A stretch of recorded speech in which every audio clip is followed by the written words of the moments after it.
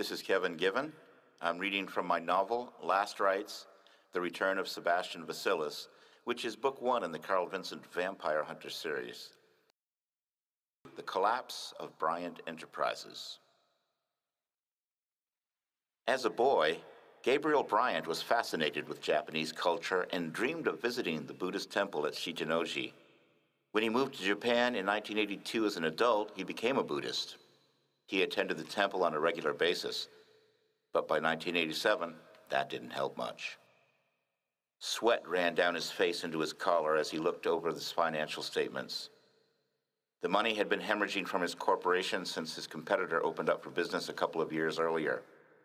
He didn't know that this was the Monday that will go down in history as Black Monday, October 19th, 1987. All he knew was that he was getting slammed. The US market had dropped over 22%. Closer to home, the Hong Kong stocks had declined by over 45% that day, which hurt even more since he traded with the Chinese too. In 1982, Osaka was the third largest city in Japan and the focal point of a chain of industrial cities. During the day, commuters helped Osaka's population swell to the point where it had almost as many people as Tokyo. It seemed to be the perfect place for Gabe to set up shop in his import export business. Back in 1982, the economy was recovering from a recession. The era of Reaganomics had begun in America. His import export business looked like it would prosper for many years to come. It looked good on paper, anyway. In practice, his business took one bad turn after another. During the first year of the business, he made a small profit, and each subsequent year seemed to see about the same profit as the one before. He wasn't happy with that small profit margin, as he had greater ambitions for his company, but he lacked the savvy to make the gains he was looking for. He should have been happy that at least he was ahead of the game. Then, about two years ago, a competitor sucked the life out of Bryant Enterprises, and he didn't know how to fight back. Hank Nelson Industries had moved in, and in a big way. Gabe lost about 20% of his business that year and almost 40% the following year. He ran his fingers through what was left of the thinning red hair on top of his head. Sweat dripped off his brow into his blue eyes. It stung, so he ran to the restroom and splashed his face with water to clear the burning sensation. He looked at himself in the mirror he was as gaunt as a prisoner of war. Gabe had been underweight all his life, but he had really been losing weight for three months as a result of worry and poor eating habits. Now he looked seriously malnourished. His five foot eight inch frame, once close to a healthy 145 pounds, now carried a mere 115 pounds. He was only 38 years old but the increasingly sleepless nights that he spent worrying for his family caused him to age so quickly he looked ready for retirement. His skin was wrinkled and puckered. His horn rimmed glasses looked like they belonged to someone younger. Maybe his son, if he'd had a son. Gabe looked down at his desk. His depression faded as he stared at the photograph. God, they're so beautiful, Gabe said as he picked up the picture of his wife and daughter that was sitting on the desk. He smiled as he thought about the former Sato Rena, now Rena Bryant, and the beautiful daughter they had together, Catherine. Rena was petite, which is how Gabe liked his women, since he himself was small. He ran his fingers along the silky smooth black hair that flowed down to her waist in the photograph. Then his fingers lightly touched her pretty face and he caressed her slightly upturned nose as his fingers slid along those very thin lips. He smiled as he thought of how uniquely beautiful her skin tone was. It was dark, but different from other Asian women. Her mother was Japanese, and her father had been part African American, part Caucasian, giving her a unique skin tone all her own. Many mistook her for being Indian.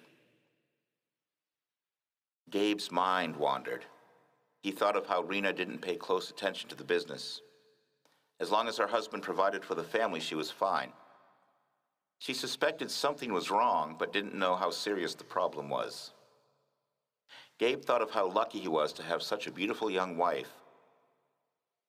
Rena was 10 years younger than he was, and at 28 was able to turn many heads. And I look 20 years older, Gabe thought. His attitude the last few months affected their relationship. He withdrew every time she asked him about the business and barely spoke to her at all, outside of small talk and pleasantries. He knew she was turning solemn, smiling less and less. He hadn't brought her flowers in nine months. When they first moved to Osaka, Gabe was a hopeless romantic and brought her flowers every three months. He loved her with all his heart, but couldn't motivate himself to do anything to show it. He couldn't help feeling that he was losing this beautiful wife.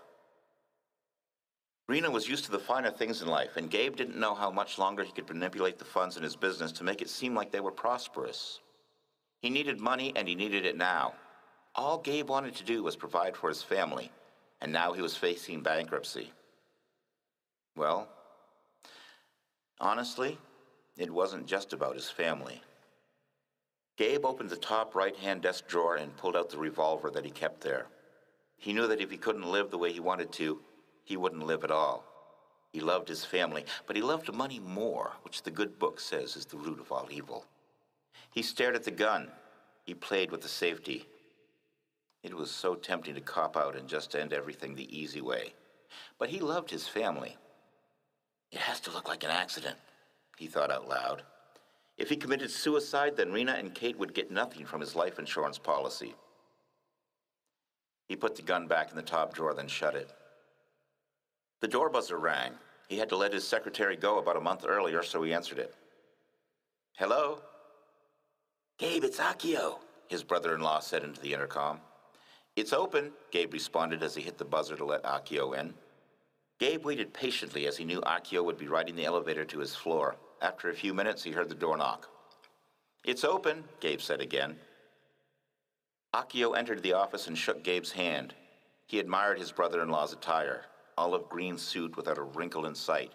The perfect crease down the front of his pants showed that Akio cared about his appearance.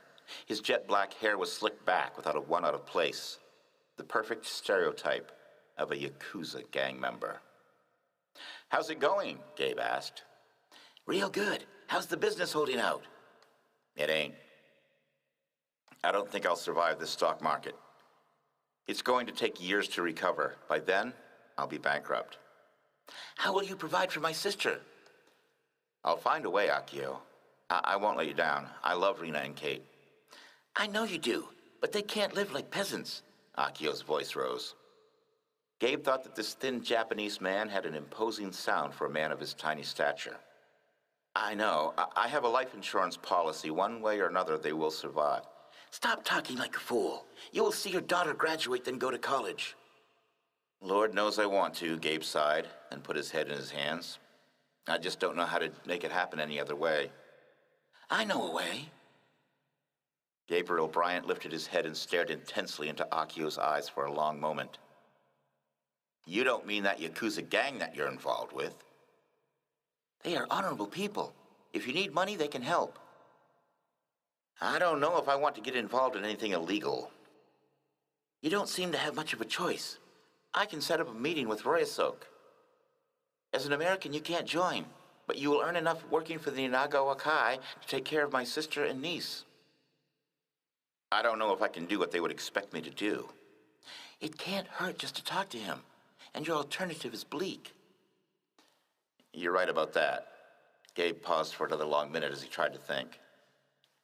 Okay, let's set up a meeting, just to talk. Gabe spent the rest of the day trying to figure out if he should actually talk to these bastards. He knew deep down that it was wrong.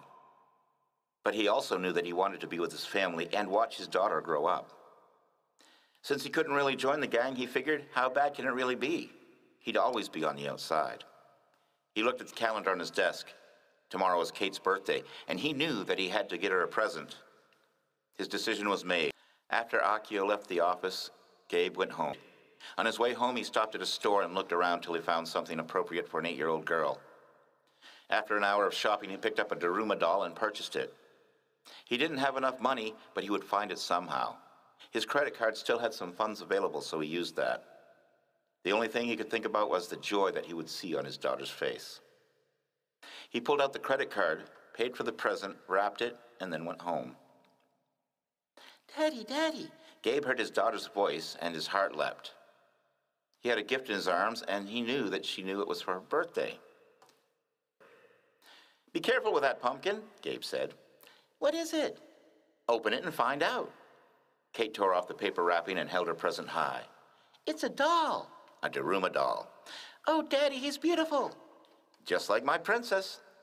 Kate ran up to her father and hugged him. Gabe saw a huge smile form on his daughter's face, and he knew that he wanted to watch his beautiful daughter grow up. Kate ran up to her father and hugged him. Gabe saw a huge smile form on his daughter's face, and he knew that he wanted to watch his beautiful daughter grow up. Rena came out from the kitchen and kissed her husband. You always had a knack for buying the right gift, she said and smiled. Akio came to visit me today, Gabe said, frowning. The smile left Rena's face. She knew that there would only be one reason for her brother to visit her husband's office. Are things that bad? she asked. He tried to smile but couldn't. He felt the blood drain from his face and knew that his skin had gone pale.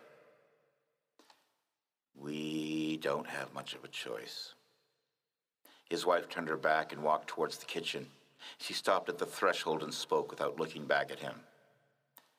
You have to do what's best, was all she could say.